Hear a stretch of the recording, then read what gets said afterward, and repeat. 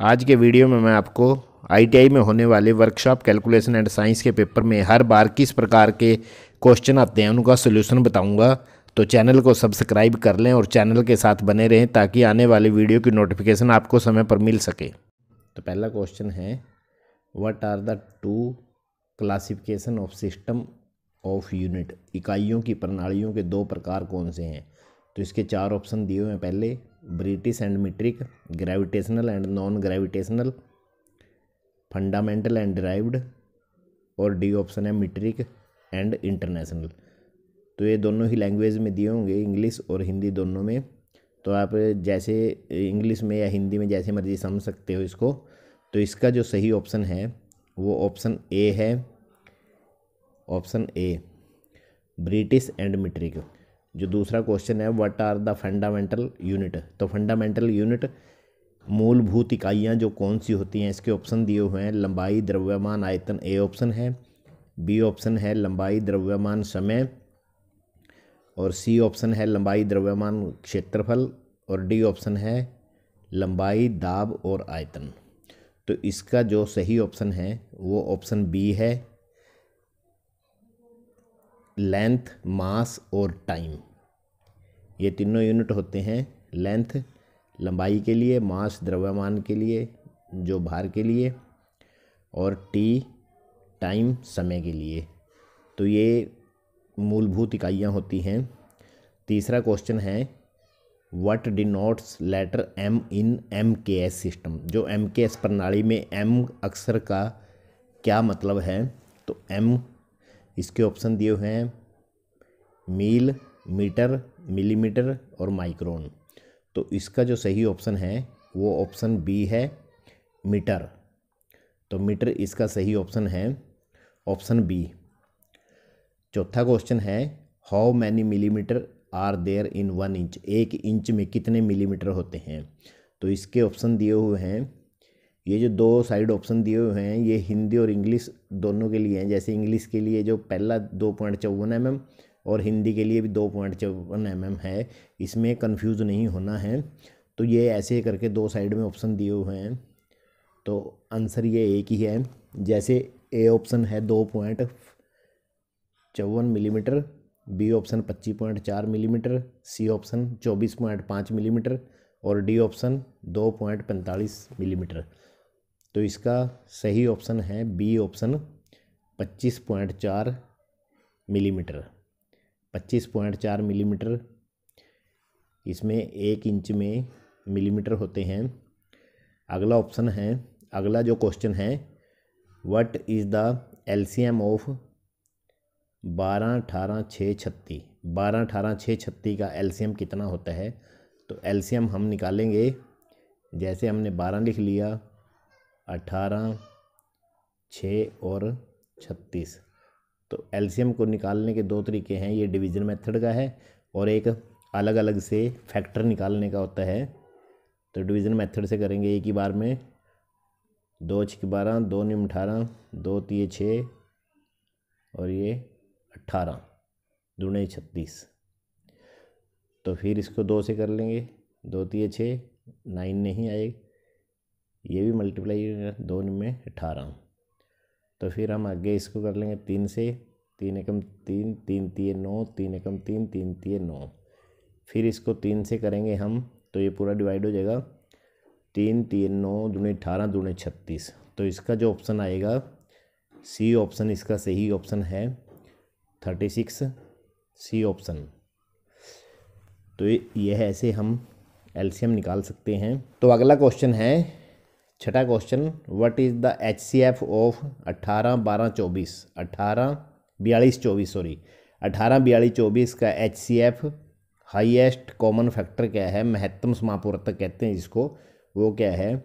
तो इस पे हम इसके पहले फैक्टर निकालेंगे अठारह के।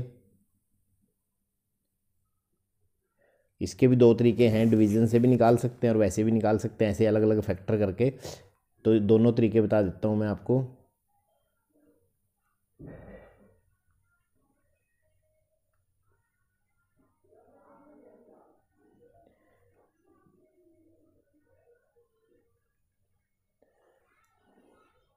अगला है ट्वेंटी फोर।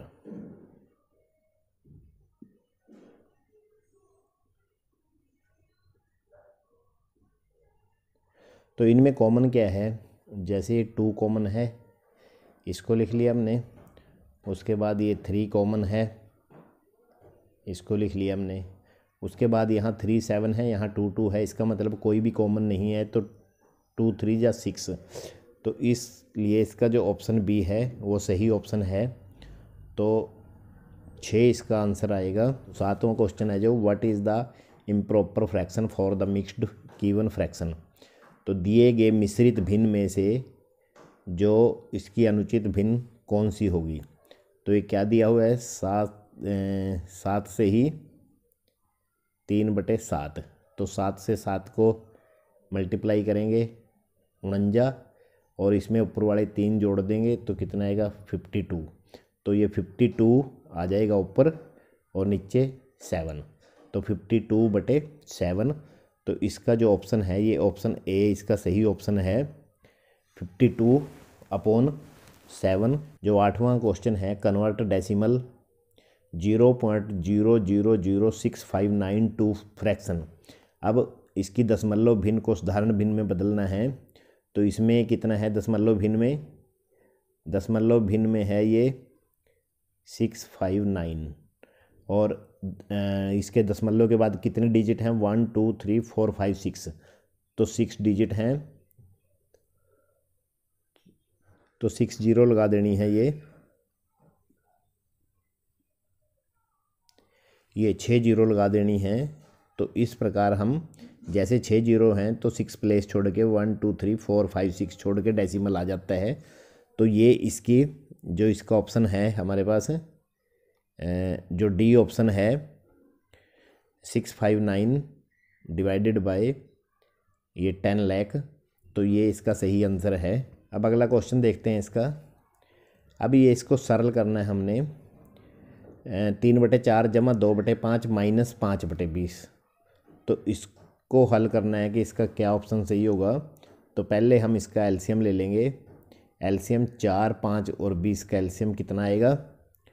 जैसे चार, पाँच और बीस। अलग से इसका एलसीएम ले लेंगे। पहले टू से डिवाइड करेंगे इनको, जो जो डिवाइड होते हैं। दोबारा फिर टू से वन, फाइव फाइव और अगली लाइन में फिर फाइव से हो जाएगा ये। तो फाइव टू जा टेन, टू जा ट्वेंटी तो ट्वेंटी इसका कैल्शियम आ जाएगा। अब फोर से इसको, जो पहले के नीचे चार है, चार से इसको भाग करेंगे, पाँच पाँच दिए पंद्रह, प्लस आगे आगे फाइव फाइव फोर जा ट्वेंटी, फोर टू जा एट, माइनस ट्वेंटी से ट्वेंटी को डिवाइड करेंगे, वन वन फाइव जा फाइव। तो कितना हो जाएगा? पंद्रह और आठ, तेईस तेईस में से पाँच गए अठारह बटे बीस। और इसको हम इसको हम काट देंगे, नौ दूने अठारह, दस दूने बीस। तो इस प्रकार ये नौ बटे दस इसका आंसर आ जाएगा और सही ऑप्शन होगा ये ऑप्शन बी, इसका सही आंसर होगा नौ बटे दस। तो इस प्रकार हम इस प्रकार के जो फ्रैक्शन में दिए हों प्लस या माइनस वाले सम, उनको हल कर सकते हैं। अगला क्वेश्चन है हमारे पास, डिवाइड कीजिए। तो डिवाइड किसको करना है? बीस बटे इकतीस को डिवाइड करना पंद्रह बटे बासठ से। तो हम इसको लिख लेंगे ऐसे बीस बटे इकतीस डिवाइड पंद्रह बटे बासठ। तो डिवाइड करने पे जब हम इसके साइन चेंज करेंगे, इसको मल्टीप्लाई करेंगे, इसको नीचे करेंगे तो बासठ ऊपर चला जाएगा, पंद्रह नीचे। तो इससे काट देंगे इसको इकतीस दूने बासठ। अब ये पाँच पे कट जाएँगे, तीन पंजे पंद्रह, चार पंजे बीस। तो चार दूनी आठ बटे तीन तो ये क्या आएगा, आठ बटे तीन। तो जैसे आठ को डिवाइड करेंगे तीन दूनी छः, दो से ही दो बटे तीन। दो से ही दो बटे तीन आ जाएगा। तो इसका आंसर है ये दो से ही दो बटे तीन ऑप्शन डी। तो ऑप्शन डी इसका सही आंसर है। तो इस प्रकार हम ऐसी फ्रैक्शन को जिसमें डिवाइड का साइन हो डिवाइड करना हो तो हम इस इस तरीके से इसको डिवाइड कर सकते हैं। What is the product of zero point zero three multiply zero point five तो ज़ीरो पॉइंट ज़ीरो तीन को ज़ीरो पॉइंट पाँच से हम कैसे गुणा करते हैं? तो पाँच तीय पंद्रह आ गया। सीधा ही कर लेंगे इसको। पाँच तीय पंद्रह आ गया। अब डेसिमल के बाद कितने प्लेस हैं? दशमलव के बाद एक, दो, तीन प्लेस और एक ये चार प्लेस तो चार प्लेस छोड़ने हैं। वन टू थ्री फोर और यहाँ दशमलव लगाना है तो ये इसका आंसर आ जाएगा।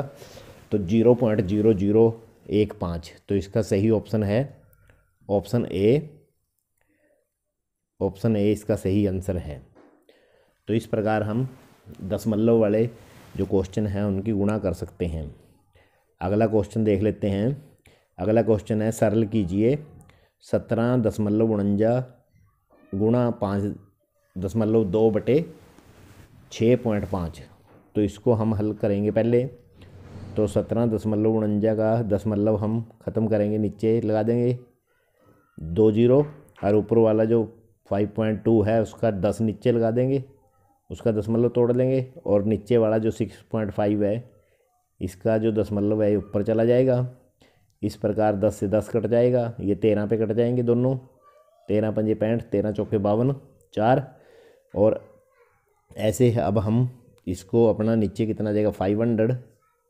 और ऊपर आ जाएगा इसको, मल्टीप्लाई कर लेंगे। तो ये आ जाएगा इसका ऑप्शन जो डी है, इसका सही आंसर है तेरह पॉइंट नौ नौ। तो इस प्रकार हम इसको, इस प्रकार के जो सम हैं, उनको हल कर सकते हैं। अगला क्वेश्चन देख लेते हैं। What is the length of each part of a copper wire of 225 metre long is cut into 900 equal part तो यदि किसी 225 मीटर लंबे तार को 900 बराबर भागों में बांट दिया जाए तो प्रत्येक भाग की लंबाई कितना होगी? तो 225 है। 225 को हम 900 बराबर भागों में बांटना है तो इसको 225 को हम 900 से भाग करेंगे। तो ये भाग करेंगे, कैसे करेंगे इसको भाग? 225 और 900 से भाग करना है। पहले ही इसमें दशमलव आ जाएगा। ज़ीरो, पाँच, बारह में से आठ के चार और ये नौ पंजे पैंतालीस हो तो ये पूरा पूरा कट गया। तो zero point point two five. तो कितना आ गया ये? Point two five. तो इस प्रकार हम, जैसे हमने एक ज़ीरो लगाई थी, इसका तो हमने यहाँ पे दशमलव लगा लिया था, उसके बाद नौ दूने अठारह सौ अठारह सौ आ गया था। फिर इसमें जैसे साढ़े चार सौ बचा, फिर ज़ीरो ले ली तो नौ पंजे पैंतालीस सौ तो पूरा पूरा कट गया। तो इसका जो ऑप्शन बी है, वो सही आंसर है ज़ीरो दशमलव दो पाँच। तो इस प्रकार हम जो मैथ का जो फ़र्स्ट ईयर का पेपर है तो उसको हम हल कर सकते हैं और पूरे जो पेपर में इसी प्रकार के क्वेश्चन आएँगे आपके तो इनकी आप प्रैक्टिस कर सकते हो।